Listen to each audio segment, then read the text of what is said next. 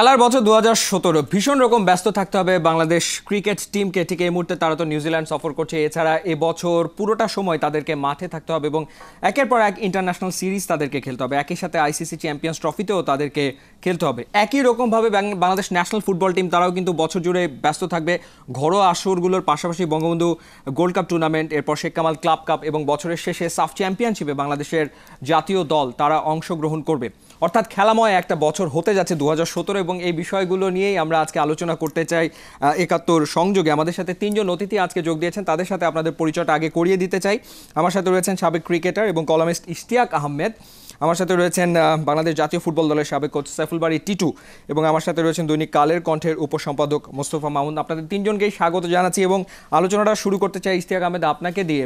ঠিক এই মুহূর্তে নিউজিল্যান্ড সফরে বাংলাদেশ দল রয়েছে এবং এই বছর বাংলাদেশ বেশিরভাগ খেলাই খেলবে আসলে বিদেশের মাটিতে।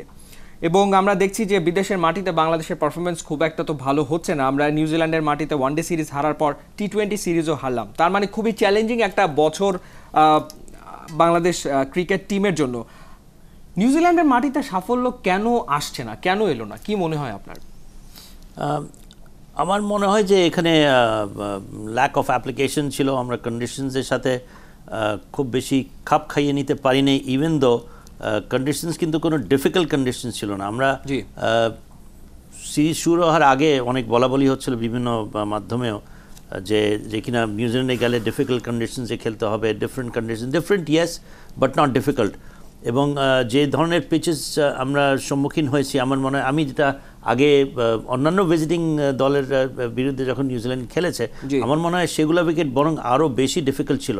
কন্ডিশনস আরও বেশি ডিফিকাল্ট ছিল। বাট এই বেলায় বাংলাদেশের সাথে যখন খেলা হয় আমি অন্তত বিকজ আমি I am regular watcher of you know these international matches আমাকে আমার কাছে দেখে মনে হচ্ছিল যে বাংলাদেশ বরং খুব ভালো কন্ডিশন কিন্তু সেটাকে কেন জানি তারা this was a very good time and good opportunity for Bangladesh. যে নিউজিল্যান্ডে গিয়ে কন- কন- খুব বেশি বিদেশি দল এসে সুবিধা করতে পারে না। নিউজিল্যান্ডে পারে নাই এবং এবারও পারে নাই। কেবলমাত্র শ্রীলঙ্কা এসে জিতেছে সুতরাং বাংলাদেশের জন্য একটা ভালো সুযোগ ছিল to prove that they are side good enough to come and play good in New Zealand Istiaq ভাই, আমরা বারবার কন্ডিশন কন্ডিশন এই শব্দটার ব্যবহার করছি। এবারের সিরিজ চলাকালীন সময়। কিন্তু বাংলাদেশ দল তো কন্ডিশনিং ক্যাম্প করার জন্য দশ দিন আগে চলে গেল অস্ট্রেলিয়াতে। সেখানে গিয়ে তারা ক্যাম্প করল প্র্যাকটিস ম্যাচ খেললো। অর্থাৎ প্রস্তুতির তো কোনো ঘাটতি ছিল না। কিন্তু যখন মূল ম্যাচ সেখানে এরকমভাবে বিপর্যয়। এবং এটার কারণ কি আসলে কন্ডিশন মূলত নাকি প্লেয়াররা রাইট অ্যাপ্রোচে খেলতে পারছে না সেটা? আমার মনে হয় right approach that will be the more appropriate কারণ আমরা গিয়ে খেলেছি অস্ট্রেলিয়াতে অস্ট্রেলিয়াতে কার সাথে খেলেছি? বিগ ব্যাশ সাথে। তো সেখানে আমাদের ফোকাস ছিল টি টোয়েন্টিটা আমরা কতখানি কি ধরনের অপোজিশনের সাথে খেলি কীভাবে নিজেকে প্রিপেয়ার করি। কিন্তু সেই সময়টুকু যদি আমরা নিউজিল্যান্ডে যদি আমরা সময় কাটাতাম কারণ আমাদের ফাইন্যান্সিয়াল ইয়েটা তো নিজেদেরকেই আমাদেরকে বহন করতে হয়েছে। এবং সেটা যদি আমরা নিউজিল্যান্ডে করতাম নিউজিল্যান্ডে গিয়ে যদি আমরা দুই- দুই দিনের কিংবা তিন দিনের ম্যাচ খেলতাম দুইটা কিংবা তিনটা। এখানে দশ দিন না কাটিয়ে এখানে যদি করতাম সেক্ষেত্রে কি হতো আমরা কন্ডিশন যে শুধু শুধু আমরা অ্যাডাপ্ট করার একটা সুযোগ পেতাম তা শুধু না এখানে আপনার two two day match three day match আপনি কিছুটা হলেও লঙ্গা ভার্জন খেলার একটা অ্যাপ্রোচ নিয়ে খেলতেন আরেকটা হচ্ছে ওই two two day match three day match আপনার কিছুটা হলেও শর্টার ভার্জনেও আপনাকে হেল্প করে। মোট কথা আপনাকে একটা উপায় দিচ্ছে সুযোগ দিচ্ছে যেখানে কিনা আপনি উইকেট কিংবা ক্রিজ অকুপাই করে খেলার একটা সুযোগ। বিকজ আপনি যে কোনো ফর্ম্যাটই খেলেন না কেন you have to be in the crease to get runs. Whether it's a T twenty it's a test match or one day international সেই সুযোগটা আমার মনে হয় আমরা পেতাম যদি কিনা আমরা নিউজিল্যান্ডে সে আয়োজনটা করতাম। যে মামুন ভাই, আপনার কাছে আমার প্রশ্ন হচ্ছে বরাবরের মতো মানে প্রত্যেকটা সিরিজ চলাকালীন সময় সবচেয়ে বেশি আলোচনা হয় যে বিষয়টা নিয়ে, সেটা হচ্ছে টিম সিলেকশন। কারা খেলবে প্লেইং ইলেভেন এবং কারা বাদ পড়ে গেল, এটা নিয়ে সবসময় আলোচনা হয়। আপনার কি মনে হয়েছে যে নিউজিল্যান্ড সিরিজে বাংলাদেশ দল খানিকটা এক্সপেরিমেন্ট বেশি করেছে তার প্লেইং ইলেভেন নিয়ে মানে আপনি এই বিষয়টা কীভাবে দেখছেন? আপনি নিশ্চয়ই খেয়াল করেছেন যে সোশ্যাল মিডিয়াতে এটা নিয়ে অনেক আলোচনা প্রতিনিয়ত হচ্ছে যে একই ম্যাচে তিনজনকে ডেবিউ করানো হয়েছে, সেটা কতটুকু যৌক্তিক ছিল বা নাসিরকে দলের বাইরে রেখে দেওয়াটা ইনফর্ম মেহেদি মারুফকে দেশে ফেরত পাঠিয়ে দেওয়াটা, আপনার কি মনে হয়? না প্রথম কথা হচ্ছে আমি বরং মনে করি যে সোশ্যাল মিডিয়ায় তো হবেই। মানে সোশ্যাল মিডিয়া তো মানুষের মতামত এবং আমার কাছে বরং মনে হয় যে মানুষের মতামত দ্বারা বোধ হয় আমাদের যারা নির্ধারক তারা অনেক ক্ষেত্রে প্রভাবিত হয়ে যান। মানুষ কিন্তু নানা রকম মতামত দিবে সেই মতামতে সাধারণত পপুলার মতামত একরকম থাকবে। কিন্তু সব পপুলার মতামতে যে সঠিক মতামত বিষয়টা কিন্তু তা নয়। তাদেরকে নির্ম জায়গায় থেকে আসলে সিলেকশন করতে হবে। কিন্তু আমার কাছে বরং মনে হয় যে ওইটা তারা অনেক ক্ষেত্রে আমরা প্রভাবিত হয়ে যায় যেমন ধরুন সৌম্য। সৌম্যর ক্ষেত্রে বিষয়টা কি? তখন যে পপুলার অপিনিয়ন যদি দেখেন তাহলে সৌম্যকে এখন দলের বাইরে রাখার পক্ষেই বেশিরভাগ লোক। সেটা এখন মনে করেন যে দুই হাজার পনেরো বিশ্বকাপের পর কিন্তু তামিমকে দল থেকে বাদ দেওয়ার পক্ষেই বাংলাদেশের বেশিরভাগ লোক ছিল। এটা হচ্ছে যে যেহেতু ওই জিনিসটা সোশ্যাল মিডিয়া বা মানুষের মতামত খুবই টেম্পোরারি ধরেন একটা ইনিংসের ভিত্তিতে একটা জনমত তৈরি। ক্ষণে ক্ষণে বদলায়। আব- ক্ষণে ক্ষণে বদলায় আবার ধরেন এখন যদি আপনি চিন্তা করা যায় এখন যে তামিমকে বাদ দেওয়ার জন্য পুরো দেশ যেরকম ঝাঁপিয়ে পড়েছিল সেই তামিমকে আমরা বাদ দিইনি বলে কিন্তু এখনকার তামিমকে পাচ্ছি। দেখেন সৌম্যর আমার আমি এটা উদাহরণটা দিচ্ছি যে দেখেন সৌম্য কিন্তু নিউজিল্যান্ড এবং অস্ট্রেলিয়ার কন্ডিশনে ভালো ব্যাটসম্যান জি। এবং সেটা সে প্রমাণ করেছে তার খেলার ধরন টেকনিক সব কিছু ইভেন এখানে গিয়ে প্র্যাকটিস ম্যাচও কিন্তু সৌম্য আউট অফ ফর্ম ছিল। আমরা সৌম্যকে নিয়ে গিয়েছিলাম কিন্তু নিউজিল্যান্ডে খেলানোর জন্য যে নিউজিল্যান্ডের ওই কন্ডিশনে সে ভালো করবে এটা ধরে না। তার ব্যাকফুটে খেলা বলের পিছনে যাওয়া সাইড। শট খেলা ইত্যাদি কারণে। কিন্তু আমরা করলাম কি ওইখানে বরং আমার কাছে মনে হচ্ছে সৌম্য কিন্তু প্র্যাকটিস ম্যাচগুলো তো ভালো করল। একটা ম্যাচ খারাপ করার পর কিন্তু আমরা সৌম্যকে বাদ দিয়ে দিলাম। ড্রপ করা হলো। তাইলে কেন আমরা সৌম্যকে নিয়ে গেলাম? আমরা তো সৌম্য আউট অফ ফর্ম ছিল আমরা জানতাম। এক ম্যাচে একটা চান্স পর সৌম্যকে আমরা বাদ দিয়ে দিলাম। বাদ দেওয়ার পর কি হলো? আমরা কিন্তু আবার সৌম্যকে ফিরিয়ে আনলাম দুইটা বা তিনটা ম্যাচ পর। এবং মানে আনা হচ্ছে, বাইরে রাখা হচ্ছে, হ্যাঁ, আনা হচ্ছে, বাইরে মানে- রাখা হচ্ছে। তার মানে there is নো কনসিস্টেন্সি এবং আমার কাছে মনে হচ্ছে সৌম্যর ক্ষেত্রে বরং এই ফেসবুক বা মিডিয়ার এইসব প্রেশারের কারণেই এই সিদ্ধান্তটা নেওয়া হয়েছিল। টিম ম্যানেজমেন্ট কিন্তু specially coach was very firm on Soumya. এই জন্য কিন্তু নিয়ে যাওয়া হয়েছিল। এখন দেখেন এইখানে আমি বরং মনে করি যে সিলেকশন ইলেভেন নিয়ে কিন্তু এটা খুবই আপেক্ষিক নানা রকম প্রশ্ন থাকবে নানা রকম জায়গা থাকবে। আমি আবার এই জায়গাটাকে টিম ম্যানেজমেন্টের চিন্তাটাকে একটা রেসপেক্ট করতে চাই। কারণ অনেকগুলো ভেরিয়েবলস দেখে তারা চেষ্টা করেন বেস্ট মতো সিদ্ধান্ত নেওয়ার এবং ওই গ্রাউন্ডে থাকেন বলে অনেকগুলো জিনিস তারা আমাদের যে করেছে অনেক ভালো ওই গ্রাউন্ড রিলেটেড ভালো বোঝেন। কিন্তু আমার কাছে বরং মনে হয়েছে যে এইটার চেয়ে এবার অনেক বেশি প্রশ্নের বিষয় এতজন খেলোয়াড় নিয়ে যাওয়া। আমি সেটাকে আসলে আমি বুঝতেই পারি না। প্রথম কথা হচ্ছে যে এতদিন আগে কেন দল ঘোষণা করা হলো? আপনি দেখেন বিপিএল আমরা জানতাম যে বিপিএল হবে এবং বিপিএল মানে যেহেতু এখানে টি টোয়েন্টি এবং ওয়ানডে আছে কাজে বিপিএল এর কারা ফর্মে থাকবে এবং কারা থাকবে না সেটার উপর তো নির্ভর করা উচিত ছিল এই টিম কিন্তু দেখেন বিপিএল আগে কিন্তু টিমটা হয়ে গেল। হওয়ার পর কি হলো? যেহেতু বিপিএল অনেকে পারফর্ম করল এখন ওদেরকে নিয়ে যাওয়ার একটা লোভ তৈরি হলো। আবার যাদেরকে আমি দল ডিক্লেয়ার করেছি তাদেরকে আমি বাদ দিতে পারছি না। ফলে পুরো বিষয়টা হলো কি এদেরকে আমরা নিয়ে গেলাম কিন্তু আমরা খেলাচ্ছি না। এবং আপনি দেখেন পৃথিবীর কোনো দেশে এরকম হয় না যে বাইশ জন পঁচিশ জন প্লেয়ার নিয়ে যাচ্ছে প্রতি ম্যাচের আগে একটা ওয়ান ডে ম্যাচের আগে বাংলাদেশ প্রথমে পনেরো জন ঘোষণা করছে। তারপর আবার এগারো জন ঘোষণা করছে। ইজন্ট ইট ফানি এটা কিন্তু এ ওয়েতে আমি কখনোই দেখিনি। এবং তারপরে দেখেন মজাটা কি হতো? প্লেয়ার আছে চব্বিশ জন মনে করেন বাইশ জন। আপনি দলে নিচ্ছেন এগারো জনকে এগারো জন কিন্তু দলের বাইরে। মানে কতজন খেলবে কারা খেলবে না? না খেলা প্লেয়াররা কিন্তু অনেক বেশি।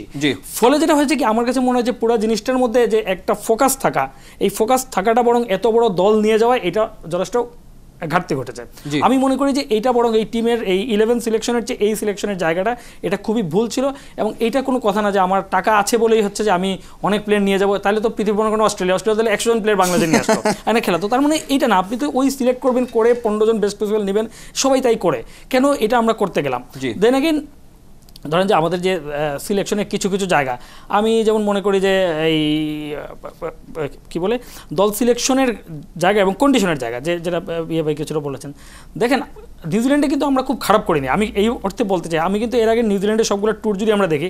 আপনারা দেখবেন আমরা কিন্তু মার খেয়েছিলাম একদম স্কিলের কাছে। আমরা কিন্তু নিউজিল্যান্ডের বোলিং বুঝতে পারতাম না।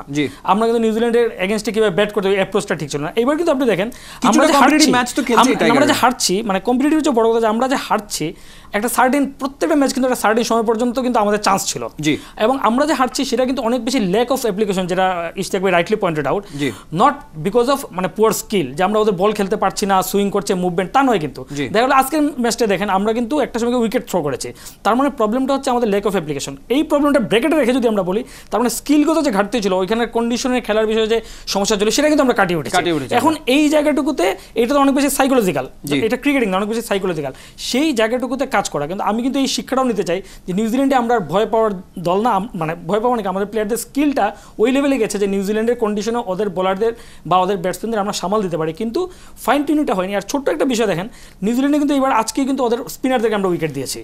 এইটা বরং আমার কাছে মনে হচ্ছে সাইকোলজিক্যাল হতে পারে। আমরা পেসার দিনে বেশি ভেবে স্পিনার আসলে আমরা মনে করি যে এই তো সুযোগ। মানে ওরা পুরো আসলে, হ্যাঁ, বা short এবং আরেকটা জিনিস হচ্ছে ঘায়াল প্ল্যানিং যে প্লেনিং আপনি মনে করেন যে সে টি টোয়েন্টিতে আপনার দশ ওভার একশো রান দরকার।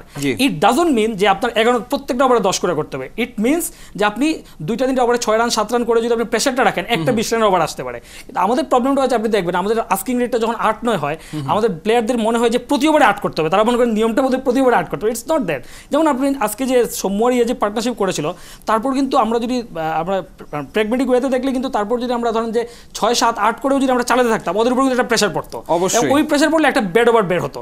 আমার মনে মনে হয় যে এই জায়গাগুলোতে একটু ঘাটতি আছে। আর আরেকটা জিনিস যে আমরা এ- গত এক বছর প্রচুর ক্রিকেট খেলেছি। মানে এই সাইকোলজিক্যাল প্রবলেমটা যে প্লেয়ারদের যে ল্যাক অফ অ্যাপ্লিকেশনটা কেন হলো? আমার কাছে মনে হয়েছে আমরা অনেক ক্রিকেট খেলেছি প্রেশার নিয়েছি। একটা ফেটিকও কাজ করে থাকতে পারে। সারা বছর যে ক্রিকেট খেলেছে এরা টি টোয়েন্টি খেলে সেটা তো তাহলে মামুন ভাই আমাদের জন্য খুব দুশ্চিন্তার কারণ কারণ প্লেয়াররা আসলে খুব একটা তো ব্রেক পাবে না। তাদেরকে টু হ্যাঁ, হ্যাঁ, থাউজেন্ড আমাদেরকে কিছু ম্যাচ ভাবতে খেলতে হবে যে এদেরকে আপনার তারপর বিপিএল বিপিএল এ আমাদের টপ প্লেয়াররা কিন্তু প্রত্যেকটা দলের আইকন প্লেয়ার ছিল. ক্যাপ্টেন ছিল অনেক প্রেশার নিয়েছে।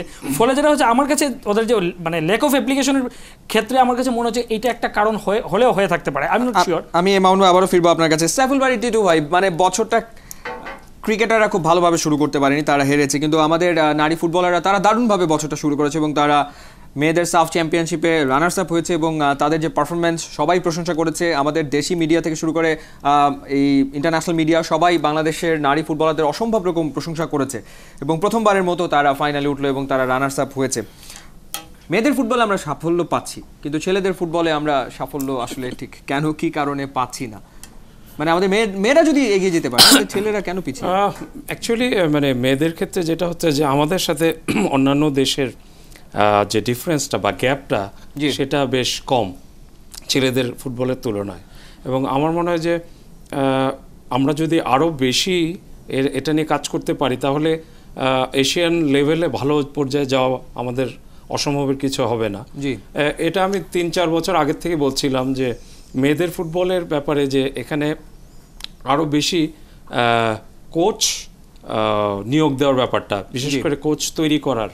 কারণ একটা জিনিস হচ্ছে যে আমরা সব সময় কিন্তু ছেলেদের ফুটবলের ব্যাপারটা যখন চলে আসে আমরা we don't have enough coaches qualified coaches যে শুধু ঢাকা বেসড না ডিসেন্ট্রালাইজ করার যে ব্যাপারটা থাকে। এটা আমাদের হয়ে ওঠে না একমাত্র কোচিংয়ের কারণেই। আমি মনে করি বিং আ কোচ সো মেয়েদের ক্ষেত্রে যেটা হয়েছে যে আমার মানে যেটা ভালো লেগেছে সবচেয়ে যে এতদিন আন্ডার ফোরটিন কিংবা আন্ডার সিক্সটিনে ভালো করার পরও কিন্তু অনেকে বলছিল যে বয়সের ব্যাপার ছিল হয়তো মেয়েরা কিছুটা বেশি বয়সের ছিল। বাট এটা কিন্তু এই ন্যাশনাল টিমে প্রমাণ করল যে আসলে এই মেয়েগুলোও পারে। আমার তো মনে হচ্ছে ইয়াংগেস্ট ন্যাশনাল টিম ছিল বাংলাদেশের টিম এবারের সাফ চ্যাম্পিয়নশিপে রাইট এবং আমার মনে পনেরো জন বোধহয় আন্ডার সিক্সটিন থেকে এখানে ছিল এই টিমে আর জিনিসটা হচ্ছে যে আমি সবচেয়ে বেশি এখানে কৃতিত্ব দিব ওদের কোচ গোলাম রব্বানি ছোটনকে। জি। অ্যাকচুয়ালি ও একটা প্লেইং স্টাইল অ্যাডাপ্ট করেছে যেটা বাংলাদেশের প্লেয়াররা সাধারণত আমরা সাহস করি না ছেলেদের ফুটবলে জি। যে এই ধরনের খেলাটা সেটা হচ্ছে যে অফেন্সিভ প্রেসিং আচ্ছা। জিনিসটা হচ্ছে যে প্রেসিংটা মানে এটা বলি আমরা অনেকটা যে defending but in a mood of attacking আচ্ছা। সো এই প্রেসিংয়ের ব্যাপারটা আমরা আন্ডার সিক্সটিন যে টুর্নামেন্টটা ঢাকায় হলো, আমি দেখলাম যে ছোটনের টিমের মেয়েগুলো এত সুন্দর করেছে অপোনেন্ট টিমগুলো কিন্তু কেউ বিল্ড আপ অ্যাটাকে যেতে পারেনি। সো এই টুর্নামেন্টে একমাত্র আমার মনে হয় ইন্ডিয়াকে আমরা কিছুটা সমীহ করে খেলতে হয়েছে, কারণ ইন্ডিয়াও যে সেম জিনিসটা করে এবং ইন্ডিয়ার আমি বলব যে ওদের মোস্ট ম্যাচিওর প্লেয়াররা ছিল। তারপরে আমি বলব যে ফাইনালে যাওয়া এবং সেমিফাইনালকে নেপালকে অ্যাভয়েড করাটা একটা ব্যাপার ছিল। সেটা খুব ভালোভাবে বাংলাদেশ করেছে এবং বিং এ গ্রুপ চ্যাম্পিয়ন আমার মনে হয় যে ইন্ডিয়ার গ্রুপে থাকে এটাও একটা বড় অ্যাচিভমেন্ট আমাদের জন্য। এক্স্যাক্টলি সো ছেলেদের ক্ষেত্রে কেন হয় না সেটা হচ্ছে যে মানে এটা বিরাট অনেক কিছু বলার ব্যাপার। সবচেয়ে বড় কথা হচ্ছে যে আমাদের যে স্ট্রাকচারটা থাকা উচিত। যেটা ক্রিকেটে আমি ক্রিকেটের আমরাও ক্রিকেট খেলতাম বা দেখতাম নাইনটি সেভেনের পর থেকে আইসিসি চ্যাম্পিয়ন হওয়ার পর থেকে ক্রিকেট যে ধারাটায় এগিয়েছে জি। এবং আস্তে আস্তে ওদের স্ট্রাকচার বা ইনফ্রাস্ট্রাকচার যেগুলো তৈরি হয়েছে আমরা এগুলিকে আদৌ ফলো করেছি কিনা এবং আমাদের এনাফ কোয়ালিফাইড কোচ আছে কি না আমি জানি ক্রিকেটে level one level two level three বোধহয় আমি জানি না অনেক কোচ আছেন বাংলাদেশে এবং আমি মাঝখানে চিটংয়ে একবার নোবেল ভাইয়ের সাথে আলাপ হয়েছিল এ ব্যাপারে সো আমি বলব যে ওই স্ট্রাকচারটা আমাদের যতদিন তৈরি না হচ্ছে এবং ছেলেদের ফুটবল অসম্ভব কম্পিটিটিভ এশিয়ান লেভেলে কারণ আপনারা জানেন অলরেডি পাঁচটা দেশ এখান থেকে ওয়ার্ল্ড কাপ খেলে। সো তারা এক লেভেলে চলে গিয়েছে অলরেডি ওই জায়গাটাতে যেতে হলে আমাদের ওই স্ট্রাকচার ভিশন মিশন বা যেটাই বলি আমরা এটা একদম ঢেলে সাজাতে হবে এবং লং টার্ম ছাড়া কোনো কথা বলা ঠিক হবে না। কারণ শর্ট টার্ম আপনার একমাত্র ছেলেদের ফুটবলে আমি জানি যে বিদেশি ফুটবলারদের জাতীয়তা দিয়ে যদি আপনি ভালো কিছু করতে পারেন। আদারওয়াইজ আপনার কম সময়টা কিছু করা সেটা নিয়েও তো অনেক বিতর্ক হলো অর্থাৎ আমাদের দেশের ক্লাব ফুটবলে যে ফরেনাররা খেলে তাদের ভিতরে যারা পাঁচ বছর বেশি খেলে ফেলেছে আমাদের দেশে তাদেরকে ন্যাশনালিটি দিয়ে ন্যাশনাল টিমে খেলানো এটার পক্ষে বিপক্ষে আবার দেখা গেল নানা রকমের মত তৈরি হয়ে গেল। আহ, সেই বিষয়গুলো নিয়ে আমরা আলোচনা করব, অর্থাৎ ন্যাশনাল টিম কীভাবে সাফল্য পেতে পারে, কিন্তু তার আগে ঠিক এই মুহূর্তে আমাদেরকে একটা ছোট বিরতি নিতে আমরা ঠিক এই মুহূর্তে একটা বিরতি নেব, ফিরে আসব খানিক্ষণ বাদে। আশা করি আপনারা আমাদের সাথেই থাকবেন।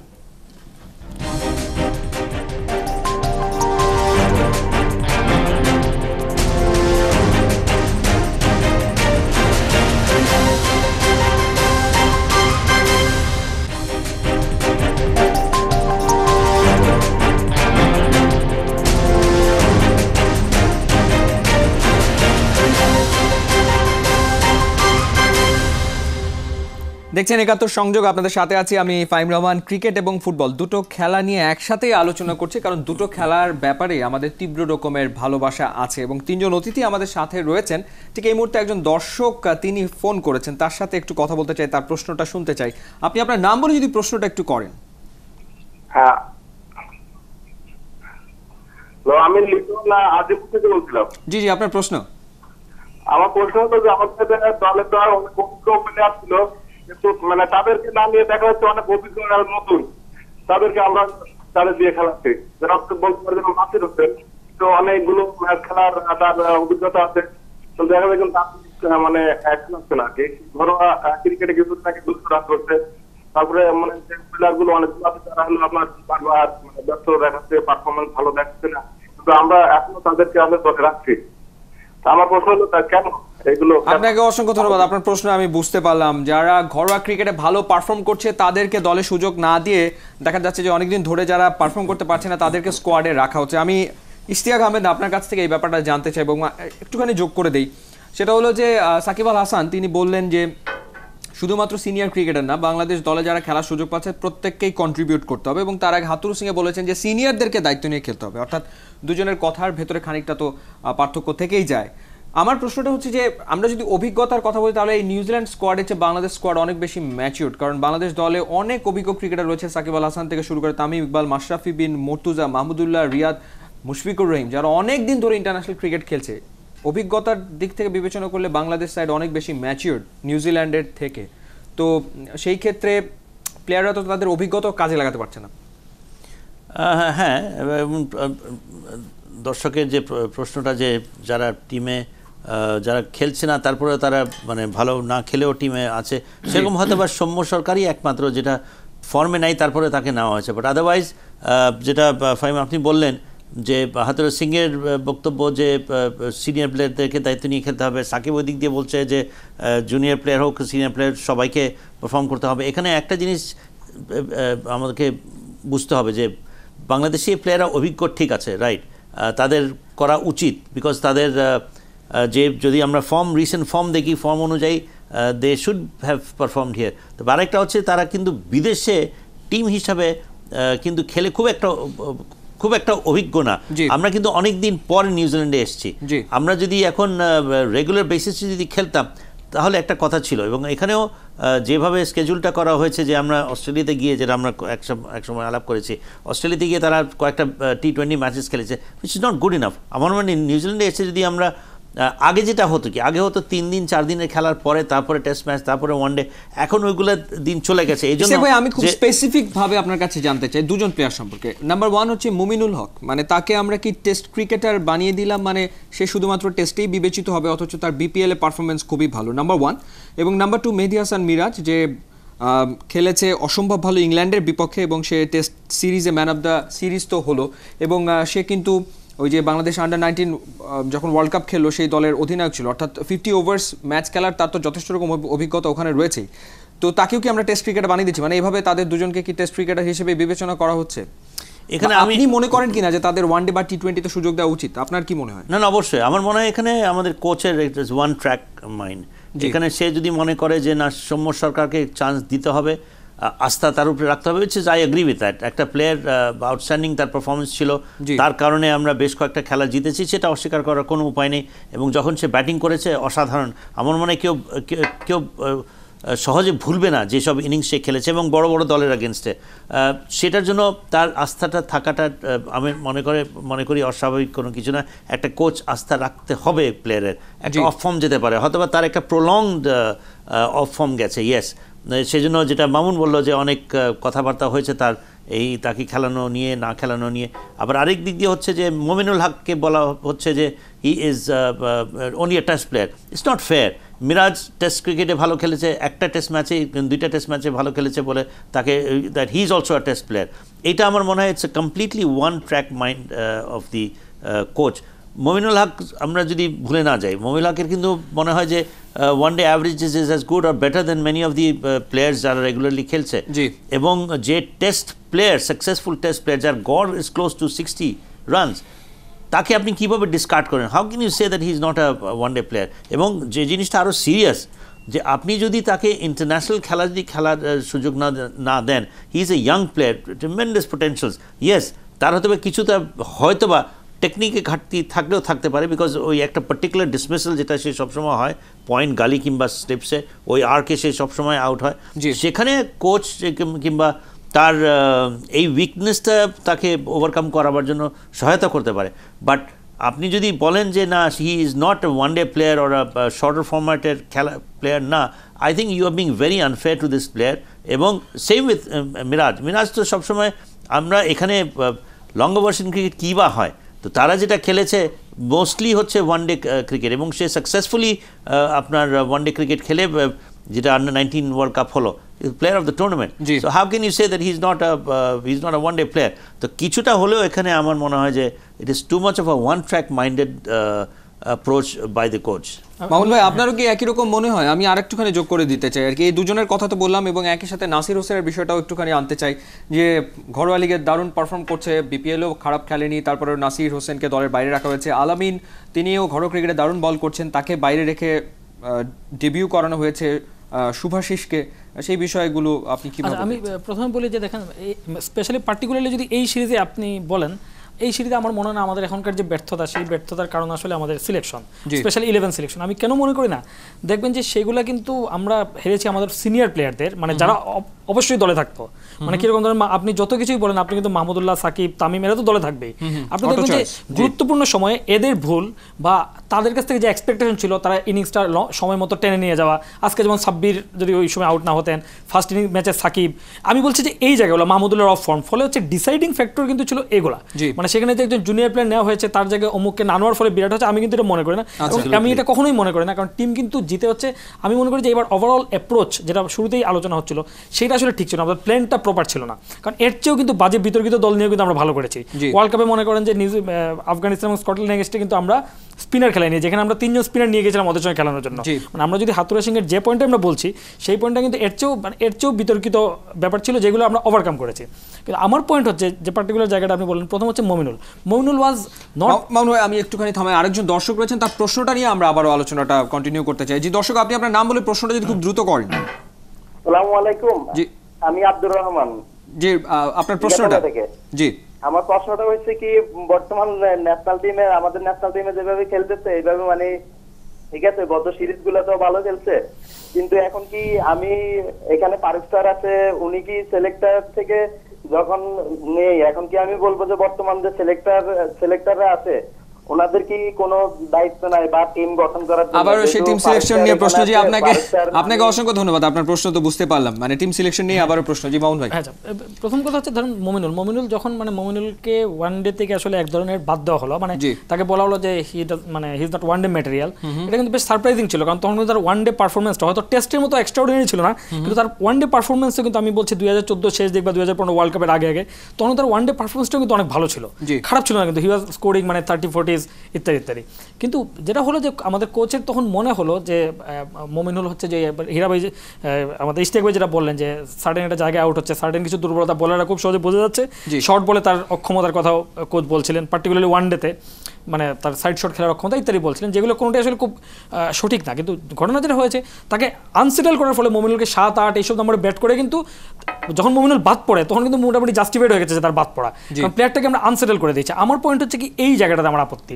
যে আমি যদি কাউকে না নেওয়ার সিদ্ধান্ত নিই মনে করি যে আমাদের ম্যাটেরিয়াল নাই প্রথমে আমি চেষ্টা করব এটা কারেকশনের আর যদি কারেকশন না করি তাহলে তাকে আনসেটেল করে তাকে এমন একটা জায়গায় ঠেলে না দেওয়া যাতে আসলে সে তাকে স্ট্রাগল করে। যেমন মমিনুল দেখেন এইবার কিন্তু বিপিএল খেলে মমিনুল ফিরে আসছে। প্রায় দেড় বছর পর মাঝখানে কিন্তু ছয় সাত মাস আমরা মমিনুলকে ওয়ান ডে নিয়ে আলোচনাই করিনি। মমিনুলকে কিন্তু লড়াই করে ফিরতে হয়েছে। ফলে এই জায়গায় ঠেলে না দেওয়া এটা হচ্ছে মমিনুলের ক্ষেত্রে পয়েন্ট আর একটা বিষয় কি ধরেন যে মমিনুলের ক্ষেত্রে এখন ইমরুল ভালো করছে তামিম। এখন হয় কি যখন কোনো একটা জায়গায় বা আমরা সম্মুখে খেলাবো জায়গা কিন্তু অনেক কম। আমরা যখন বাইরে থেকে বলি ধরেন আমরা অনেকের পক্ষে বলি যেমন নাসির। ফাইন আমিও কিন্তু মনে করি যে নাসিরের ক্ষেত্রে অনেক ক্ষেত্রে নাসিরকে প্রাপ্য সুযোগ দেওয়া হয় নাই। মানে হয়তো একটা দুটো পারফরমেন্সের কারণে বাধ্য হয়েছে। কিন্তু একই সঙ্গে এটাও মনে রাখতে হবে আপনি যখন দলে আনসেটেল হয়ে যাবেন তখন কিন্তু আপনার একটা দুটো সুযোগ আসবে। সেই সুযোগটা আপনার এমনভাবে কাজে লাগাতে হবে যাতে এটার কোনো কোয়েশ্চেন না ওঠে। নাসিরের জায়গাটা যেটা হয়েছে যেহেতু মুসাদ্দেক তারপরে এই আপনার কি বলে মিরাজ। মিরাজ এবং নাসির এরা কিন্তু almost same sort of player একই- একই একই ধরনের প্লেয়ার এই ধরনের প্লেয়ার যেহেতু আমরা অনেক লম্বা ব্যাটিং লাইন আপনি খেলি এই ধরনের প্লেয়ার কিন্তু আমরা মোটামুটি হয়তো সর্বোচ্চ তিনজনের মধ্যে দুইজনকে খেলাতে পারি। আসলে একজনকে। তো এই জায়গাটা হয় কি ফলে ওই অপশনগুলো নানানভাবে দেখা হয়। কিন্তু আমি তারপরে মনে করি নাসিরের ক্ষেত্রে প্রবলেমটা হয়েছে যে নাসিরের ফর্মের চেয়ে অনেক বেশি টিমের মধ্যে তার টিম ম্যানেজমেন্ট যে, যারা বলেন, তারা প্রকাশ্যে না বললেও তারা আসলে সামহাও তার যে অ্যাপ্রোচ টু দ্য গেম তার মধ্যে একটা লেক অফ সিরিয়াসনেস আছে। এটা তাদের অংশটুকু বলছে, তারা যেভাবে দেখেন সেটা আসলে টিম ম্যানেজমেন্টের কারও কারও আসলে খুব পছন্দ না। ফলে এই অ্যাপ্রোচের কারণে হয় কি নাসিরকে মানে একদম আনওয়ান্টেড হয়ে যায়। তো আমার পয়েন্ট যেটা যদি এইটাও হয় কারণ হয় এটা কারণটা কিন্তু আবার তারা প্রকাশ্যে বলছে না এটা যদি কারণ হয় তাহলে মানে নাসিরকে বলা যেতে পারে তার অ্যাপ্রোচ চেঞ্জ করার চেষ্টা করা যেতে পারে। আমি বলছি যে সেই জায়গাটুকু করা। কিন্তু তা না করে কথাটা প্রকাশ্যে বলাও হয় না ফলে নাসির ঠিক বুঝতে পারে না সেই কারণে বাদ পড়ছে কিনা। আবার আমরা দর্শকরা বিভ্রান্ত এই কারণে তারা দেখেছে নাসিরের পারফরমেন্স আরও পাঁচজনের মতো কিন্তু ওই চারজন চান্স পাচ্ছে নাসির পাচ্ছে না। ফলে হয়েছে কি তাদের মধ্যে দল নিয়ে একটা সন্দেহ তৈরি হয়। যখন অবিশ্বাস তৈরি হয় সেই অবিশ্বাসটা কিন্তু তখন ওই নানানভাবে এবং এর ফলে হয় কি তখন নাসিরের জায়গায় যে ছেলেটা চান্স পেল সে একটা খারাপ করলে বাকি সবাই ঝাঁপিয়ে পড়ে। এই কারণে আপনি দেখবেন যে আমাদের অনেক ইয়াং প্লেয়ার কিন্তু যেমন ধরেন তানভীর তানভীর নিজের তো কোনো দোষ নেই একটা লং টার্ম প্লেনে করা হচ্ছে। কিন্তু যেহেতু তানভীরকে আমরা মনে করছি যে আরও তার চেয়েও যোগ্য আরও অনেকে চান্স পায়নি ফলে তানভীরের দুই একটা সাধারণ পারফরমেন্সকে আমরা এমনভাবে সমালোচনা করছি ওইটা কিন্তু ওই ওই প্লেয়ারের জন্য ক্ষতি করেছে। এই জায়গাটাতে আমি আমার দর্শকদের তো বলার কিছু নেই দর্শকদের মতামত নানা রকম আমি আসলে ক্রিকেট ফ্রেটার্নিটির এবং ক্রিকেট কালচারের আমাদের ক্রিকেট গার্জিয়ান যারা স্পেশালি এক্সপেক্ট আমি তাদেরকে বলব এই জায়গাটুকুতে তারা যেন আমাদের দর্শকদের যে জনমত সেইটার দিকে না ভেসে দর্শকদের কিছুটা অভিভাবকত্ব দেন যাতে আমাদের প্লেয়াররা আনফেয়ারলি ক্রিটিসাইজ না হয়। অর্থাৎ দলে সুযোগ দেয় এবং দল থেকে কাউকে যখন বাধ্য হবে সেটাও জানি খুবই একটা পরিকল্পিত সিদ্ধান্ত যেন হয়। নিশ্চয়ই নিশ্চয়ই। সেই ব্যাপারটা সবাই সাফারার হবে। যে বাদ পড়বে সে হবে যে আসবে সেও সাফার হবে। মানুষ সাফার করাবে মানুষ তাকে সহজভাবে নিবে না স্ট্রাগল করে খেলতে হবে। সাইফুল ভাই টিটু ভাই আমি আপনার কাছ থেকে জানতে যাব বাংলাদেশের ঘরোয়া ফুটবল সম্পর্কে আপনি একটা দলের সাথে সম্পৃক্ত ছিলেন এবারের লিগে এবং লিগটা আসলে কেমন হলো এবং আসলে কতটুকু প্রফেশনাল লিগ আমরা করতে পারলাম এবং এই লিগে আপনি আমাদের লোকাল প্লেয়ারদের খেলা কেমন দেখলেন সেই বিষয়গুলো আমি আপনার থেকে জানব কিন্তু তার আগে একটা ব্রেক আমাদের ঠিক এই মুহূর্তে নিতে হবে। ছোট্ট একটা ব্রেক ফিরে আসছি, একটু পর আশা করি সাথেই থাকবেন।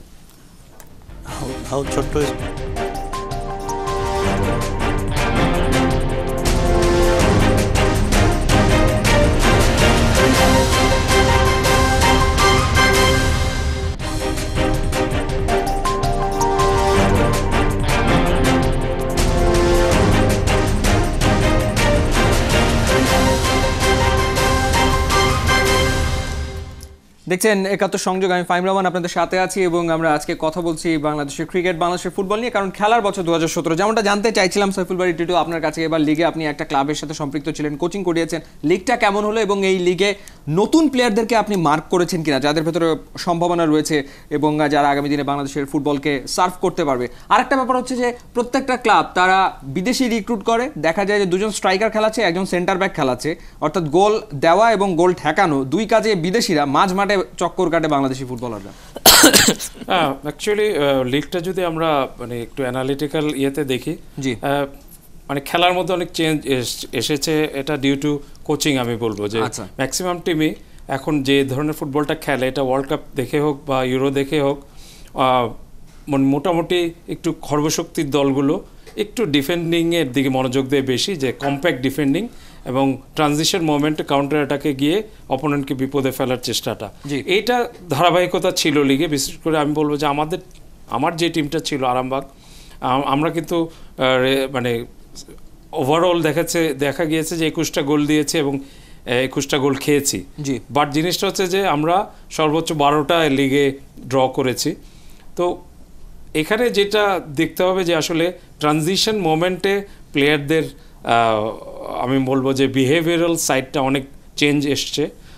যে আগে যেমন আমি বল হঠাৎ উইন করলাম মাঝ মাঠে সে- তখন আমি যখন একটা টিম অ্যাটাকিংয়ে থাকে তখন তাদের কিন্তু মাঠে ছড়িয়ে থাকতে হয় বা স্পেস বড় করতে হয়। বাট যখন আমি বলটা জিতবে অপোনেন্ট টিম তখনই কিন্তু তার সুযোগ আসবে যে অপোনেন্ট টিমের ওই পজিশন ছেড়ে দেওয়া, যে ফাঁকা জায়গাগুলো কাজে লাগানোর। সো এই জিনিসটাই আমার মনে হয় যে খুব মানে ইম্প্রুভ করেছে বাংলাদেশের ফুটবলের এখনকার অবস্থা। বাট যেই জিনিসটা বলব আমি সেটা হচ্ছে যে, আপনি যেটা বললেন একটা টিম কিন্তু ব্যালেন্স হয় তখনই যখন তিনটা ডিপার্টমেন্টই সমানভাবে কাজ করে জি। সো সেই হিসাব করলে কিন্তু আপনার ফরেন প্লেয়ার যেমন আমি আমার টিমে খেলিয়েছে যে একটা ডিফেন্ডার একটা মিডফিল্ডার এবং একটা অ্যাটাকার জি। সো অনেক টিম আছে যে ওই ওই জিনিসটা করতে গিয়েছে এবং আমাদের মিডফিল্ডে যে অত ক্রিয়েটিভ প্লেয়ার নাই সেই কারণে আপনার কিন্তু ওই গোল শুধু শুধু পাবে না। আবাহনীর মতো টিম যারা চ্যাম্পিয়ন হয়েছে পরে কিন্তু লিটাককে সেই মিডফিল্ডে এসেই খেলতে হয়েছে। যার কারণে কিন্তু তার মেইন হচ্ছে যে মিডফিল্ডটা তো আসলে একটা bridge between defending and defenders and forwards so সব কিছু মিলিয়ে আমি বলব যে আসলে লিগ কম্পিটিটিভ হতো আরেকটু যদি শেখ রাসেল টিমটা অ্যাজ এক্সপেক্টেড সেভাবে যদি তারা পারফর্ম করতে যদি আপনার টিমে দুইজন খেলেছে জাফর ইকবাল এবং আব্দুল্লাহ। এবং এই দুজনের খেলা সবার চোখে লেগেছে এবং আপনি তাদেরকে পিক করেছেন। এরকম সম্ভাবনাময় বিভিন্ন টিমে প্লেয়ার কীরকম দেখলেন? অর্থাৎ যারা নেক্সট আগামী দিনে ন্যাশনাল টিমকে সার্ভ করতে পারে আপনার কি মনে হয়? দেখলেন? অ্যাকচুয়ালি মানে ছিল। রহমতগঞ্জের নয়ন ছেলেটার কথা বলতে হয় ও সেকেন্ড টায়ারে ছিল। মেহবুব হাসান নয়ন। হ্যাঁ। তো সেকেন্ড টায়ারে বেশ কিছু প্লেয়ার এবার খেলেছে বাট আবদুল্লাহ আর জাফর ওরা হচ্ছে যে একদমই থার্ড ডিভিশন থেকে এসছে। বাট জিনিসটা হলো যে আমি ওদের বের করিনি। অ্যাকচুয়ালি আমাদের প্রেসিডেন্ট যে মমিনুল হক সাইদ তার টিমই ছিল দিলকুশা। ওখানেই ছিল এবং সেই কিন্তু আমার হাতে দেয় যে চারটা প্লেয়ারকে আপনার কাছে দিলাম দেখেন কিছু করা যায় কিনা। জি। সো ওইটা একটা ব্যাপার ছিল। আরেকটা হলো যে ইয়াং প্লেয়ারদের আমরাও ইয়াং প্লেয়ার হিসাবে দেখেছি বা আমরা নিজেরাও যখন ইয়াং ছিলাম আমিও থার্ড ডিভিশন থেকে সরাসরি ফার্স্ট ডিভিশন খেলেছিলাম। বাট আমি বলব যে সব কিছু ঠিক থাকলেও একটা প্লেয়ারের যে ইন্ডিভিজুয়াল ট্রেনিং টাইম মেনটেন করে তার নিজের টেকনিক্যাল স্কিলটা বাড়ানো এটাতে কিন্তু আমরা ওই ধরনের ট্যালেন্ট দেখছি না। আচ্ছা। তার মানে আমার কথা হচ্ছে যে আপনার ফুটবলের পুরো জিনিসটা হচ্ছে স্কুলের কাজের মতোই কিন্তু। আপনার ক্লাসরুম হচ্ছে গিয়ে আপনার প্র্যাকটিস। জি। আপনার হোমওয়ার্কটা হচ্ছে যে ইন্ডিভিজুয়াল ট্রেনিং টাইম ফুটবলের। সেই জায়গাটাতে সেই জায়গাটা আমি ল্যাকিং দেখছি। আচ্ছা মাউনু মামুন আপনার কাছে জানতে চাইব যে টু থাউজেন্ড সেভেন্টিন ফুটবলের জন্য কেমন একটা বছর হতে যাচ্ছে? আপনি কি এক্সপেক্ট করছেন? মেয়েরা আন্ডার সিক্সটিন এফসি চ্যাম্পিয়নশিপের মূল পর্বে খেলবে। খেলা হবে থাইল্যান্ডে। এবং- সেখানে সব এশিয়ান টপ সাইডগুলো খেলবে। সেখানে বাংলাদেশের মেয়েরা খেলতে যাচ্ছে। এছাড়া তিনটা international football tournament Sheikh Kamal club cup Bangabandhu gold cup এবং বছরের শেষে সাফ চ্যাম্পিয়নশিপ কি মনে হয়? কীরকম হতে যাচ্ছে ফুটবলের জন্য বছরটা? প্রথম হচ্ছে আমি মনে করি যে ফুটবলে যেহেতু মানে আমি বরং ফুটবলে আসলে সত্যি যদি বলে আমাকে জিজ্ঞেস করেন একদম আমার অনেস্ট অপিনিয়ন হচ্ছে ফুটবলে ইন্টারন্যাশনাল ম্যাচ না থাকলে আমি খুশি হতাম। জি। কারণ এখন ফুটবলে আমাদের ইন্টারন্যাশনাল ম্যাচ হয়ে গেছে আমাদের জন্য একটা পেন ইন্টারন্যাশনাল ম্যাচ মানে আমি পুরুষ ফুটবলের কথা স্পেশালি বলছি। যে খেলা হয় এবং আমরা সাধারণত যেহেতু আমরা আমাদের যে তুলনামূলক শক্তিশালী দল তাদের কাছে তো হারি এখন দুর্বল দলগুলোর কাছে হারছি। ফলে এই হারগুলো যেটা করতে চায় আমাদের ফুটবলের প্রতি মানুষের আরও বেশি বিরাগ তৈরি করছে। তার চেয়ে বরং যদি ইন্টারন্যাশনাল ম্যাচ এখন তো কমই হবে যেহেতু আমরা খেলব না ইন্টারন্যাশনাল ম্যাচ কমে আমি মনে করি আমাদের একদম সোজাসুজি ডোমেস্টিকে ফিরে যাওয়া উচিত। ডোমেস্টিকটা দুইভাবে ডোমেস্টিক হচ্ছে একটা হচ্ছে আপনার লং টার্ম প্ল্যানিং যেটার মাধ্যমে আপনি মনে করেন যে আমাদের প্লেয়ার যেমন আমরা আমরা স্কুল ফুটবলটা কাজে লাগাতে পারি যেটার মাধ্যমে আমাদের মহিলা ফুটবলটা কিন্তু তৈরি হয়েছে এই যে ইয়া ফুটবলের মাধ্যমে বঙ্গ বঙ্গমাতা যে বঙ্গমাতা। ঠিক এরকম তাহলে আমরা। আমরা ওই ওটা কিন্তু একটা ইয়া ফুটবল হয় ছেলেদের ফুটবল হয়। সেটার দিকে আমরা নজর দিই না। আমরা দশ বছর পরে আমরা প্লেয়ার তৈরি করব। কারণ এখন যে প্লেয়ার এবং আগামী দুই চার বছরে যা তা দিয়ে আসলে আপনি সর্বোচ্চ যেটা হবে ভুটানের সঙ্গে হোমে ড্র করতে পারবেন। এখনকার স্ট্যান্ডার্ড ইজ স্ট্যান্ডার্ড ইজ মানে দ্যাট ব্যাড মানে সেদিকে যাচ্ছে আর কি। তো আমার কথা কথা হচ্ছে যে এইদিকে মনোযোগ দেওয়া এবং আরেকটা জিনিস হচ্ছে এই এর পাশাপাশি আমাদের একটা মানে মিসিং পয়েন্ট হচ্ছে যে ফুটবলটা হচ্ছে আমরা আমি অনেকবার বলেছি যে ফুটবলটা আমরা ক্রিকেটের মতো করে দেখি। ক্রিকেটের মতো করে দেখি কীভাবে? যে ক্রিকেটটা হচ্ছে মূলত ইন্টারন্যাশনাল ফরম্যাটটা হচ্ছে ইন্টারন্যাশনাল টিম বেস খেলা। Football is not that football কিন্তু বেসিক্যালি ক্লাব বেস খেলা। পৃথিবীর সব জায়গায় কিন্তু এটা ক্লাবের খেলা। এবং ক্লাবের খেলাটা কি করে? মানুষকে এন্টারটেন করে সারা বছর। প্রতি সপ্তাহে খেলে এন্টারটেন করে। তারপরে যে ন্যাশনাল টিম ওখান থেকে প্লেয়ার নিয়ে করা হয়। প্লেয়ারও তৈরি করে ক্লাব জি। আপনি দেখেন সব বড় বড় প্লেয়ার সব কিন্তু ওই ক্লাবগুলো একটা করে একাডেমি থাকে। তাদের ওই জুনিয়র টিম থাকে। জুনিয়র টিম নিজেদের মধ্যে খেলে। ফলে ওইখানে আসলে ফর্মেটগুলো আছে। সেটা আমাদের ফলো করা উচিত কিন্তু আমরা ওইগুলো আসলে খোঁজখবরও করি না এবং আমরা জানতেও চাই না বা জানলেও আসলে প্রয়োগের চেষ্টা করি না। কিন্তু বেসিক মিসিং পয়েন্ট যেটা হয় আমরা শুধুমাত্র যে জাতীয় দল ভালো করছে না বলেই ফুটবল পিছিয়ে পড়ছে এই যে একটা হাওয়া হাহাকার আমরা সবাই তুলে দিই মিডিয়া আমরা তাদের শরিক হই। তাতে কি ফুটবল মাঠে ফুটবল মাঠে দর্শক যায় না? এটা হচ্ছে একটা সাইকেলের মতো হয়ে গেছে। ফুটবলের দর্শক দেখে না যখন দর্শক দেখে না স্পন্সর আসে না ফলে টাকা পয়সা কারণে ফুটবল সেভাবে চালানো সম্ভব হয় না? এবং দেশের ইয়াং জেনারেশন ফুটবলের প্রতি আকৃষ্ট হচ্ছে না। এই জন্য যে প্রতিভা পাবেন কীভাবে? আপনার ফুটবল যদি খেলে দেশের মনে করেন যে এক হাজার দশ হাজার ছেলে আপনি কোথা থেকে পাবেন? দশ লাখ ছেলে বুঝতে পারছি যে আপনি খুব একটা আশাবাদী হতে পারছেন না দেশের আমি বলছি আমি বলছি চিন্তাটা ভুল বলে আমার মনে হয়। এই চিন্তাটা কারেকশন আর ইস্তিয়াক ভাই আপনার কাছে জানতে চাইব যে এই যে বাংলাদেশের ক্রিকেট টিমের জন্য বিরাট চ্যালেঞ্জ হচ্ছে দেশের বাইরে খেলা। পুরো বছর ধরে বাইরেই খেলতে হবে। কি আশা করছেন? আমি আশা করব যে ইন্ডিভিজুয়ালি যেগুলো প্লেয়ার আজকে টিমটাকে এখানে নিয়ে এসছে ইন্ডিভিজুয়াল পারফরমেন্স দিয়ে কালেকটিভ তো আছেই। এর মধ্যে কিন্তু তামিম মাহমুদুল্লাহ রিয়াদের অন্তত টেস্ট ক্রিকেটে আমি বলব না যে সে তার পোটেনশিয়ালস এখনও দেখাতে পেরেছে বাট তামিম, মুশফিক, সাকিব, এই তিনজনের কাছ থেকে আমি অন্তত আশা করব যে তারা তাদের যে পার্সোনাল রেকর্ডস মাইলস্টোনস সব প্লেয়াররা বলে যে আমরা রেকর্ডের জন্য খেলি না but it's also very important that যে প্লেয়ারদের কথা আমি বললাম, তাদের ইন্ডিভিজুয়াল পারফরমেন্সেসগুলোকে আরেকটু এই সুযোগে because you can be considered world class player আপনি যদি দেশে এবং বিদেশে যদি আপনি কনসিস্টেন্টলি পারফর্ম করেন তো সেটার সুযোগ এখন আসছে। বিগত দিনগুলি কিন্তু আমরা পাইনি। এখন যেগুলো এফটিভি বলেন কিংবা যেগুলো আইসিসি দ্বারা যেগুলো আইটিনারি বানানো হয়েছে সেখানে কিন্তু দেখা যাবে যে দেখা যাচ্ছে যে বাংলাদেশ বেশ কিছু সফর বিদেশে করবে। সেই সুযোগটা কিন্তু নেওয়া উচিত হবে যেগুলো প্লেয়ারের কথা আমি বললাম। কারণ আমরা দেখেছি বিদেশ দেশের মাটিতে তারা খেলেছে। রিসেন্ট সময় তাদেরকে বেশ কনসিস্টেন্ট হতে দেখা গেছে।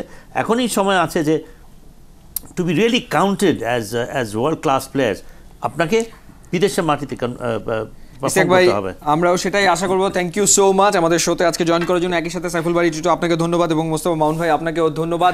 আশা করব আমরা দু হাজার সতেরো আমাদের জন্য সাফল্যের বছর হবে অন্তত দেশের ক্রীড়াঙ্গনের জন্য। সবাই ভালো থাকবেন আবারও কথা হবে।